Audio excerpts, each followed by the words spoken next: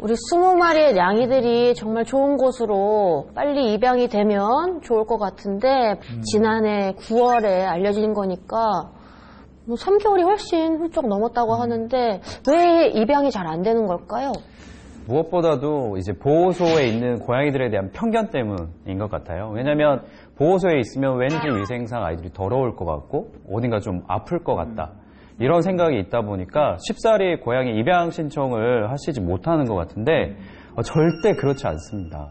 그렇습니다. 우리가 VCR 잠깐 봤지만 네네. 사람 너무 좋아하고 네. 애들 너무 상태 건강하고. 깨끗하고 건강한 상태였거든요. 네, 그런 편견은 버리시고 그래서 저희가 준비를 한번 해 보았습니다. SNS에서는 벌써 선 공개가 되었죠.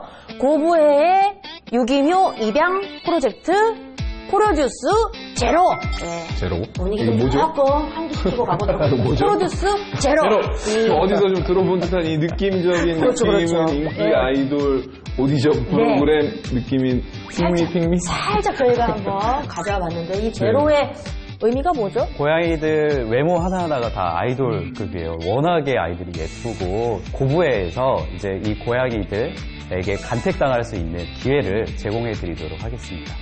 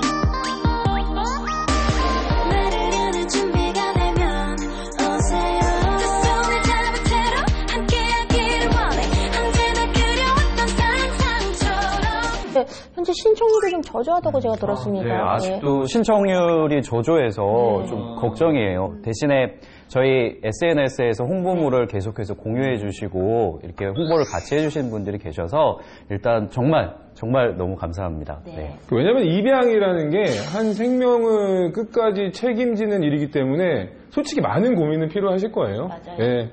그럼에도 불구하고 저희가 고양이랑 함께 사는 건 또 그만큼 행복한 일이기 때문에 저도 집사로서 적극 추천합니다. 네. 20마리의 고양이들이 보니까 너무 착하고 문제묘들이 아니죠. 예, 네. 없을 것 같아요. 문제묘들이 네. 아닌 것 같고 제가 그냥 슬쩍 한번 여쭤봤어요. 우리 피디님께도 아니 애들 막 화내고 막앙 하는 장면은 다 편집을 하신 거냐 혹시 입양 잘 되게 하려고 그랬더니 그런 것도 음, 전혀 없대요. 네, 네. 전혀 없고 제가 진실하게 다 보여드린 거기 때문에 혹시나 아 문제묘라서 좀 음, 내가 좀 나랑 트러블이 있지 않을까 그런 게 걱정이 되시다면은 걱정을 안 하셔도 될 것 같고 정말 책임감을 가지고 아, 잘 평생을 함께 할 수 있을 것 같다 생각하시는 분들은 신청을 해주시면 되는데요. 신청은 어떻게 하면 되나요, 선생님? 네. 고양이를 부탁해 홈페이지에 들어가시게 네. 되면 음. 시청자 게시판에 공지글 프로듀스 제로 어, 입양 신청 안내가 있습니다. 네네. 여기에서 양식을 다운로드 받으셔서 이제 채우시고 나서 고양이를 부탁해 메일로 보내주시면 네, 입양 신청이 완료됩니다. 네. 그리고 또 프로듀스 제로의 입양자로 선정되신 분들 중 방송에 도움 주시는 분들께는 각종 고양이 용품이 담긴 고양이 입양 키트 우와. 이거, 이거를 저희가 또 선물로 드리고요. 네네. 고부의 전문 입양 코칭까지 받으실 수 있는 특전 오. 있다라고 하니 고민 많이 하시지만 액션은 고민하지 마시고 예, 예. 예. 많은 관심과 사랑 정말 부탁드립니다. 오늘만큼은 정말 우리들의 클로징 멘트가 더 마음에 와 닿는데요. 우리 프로듀스 제로 20마리 고양이들에게 정말 여러분들의 많은 관심과 사랑을 보내주셔야 될 것 같습니다. 그럼 우린 여기서 한번 마무리해 볼까요? 우리에게 필요한 건 많은 사랑과 관심입니다. 우리 또 만나요. 핑, 핑, 핑, 핑, 핑. 이거 나야? 핑미?